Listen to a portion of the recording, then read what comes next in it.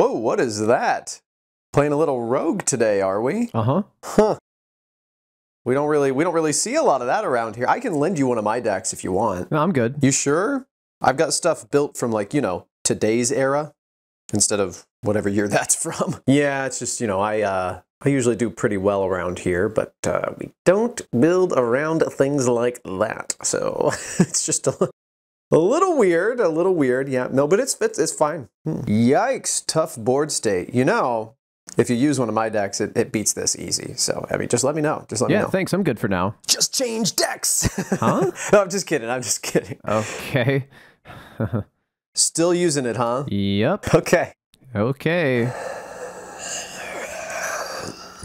Oh, hey, this is kind of crazy, but someone did just threaten to burn down the card shop if you don't take one of my decks and stop playing that one. What? So, Was it you? Is it you making the threat?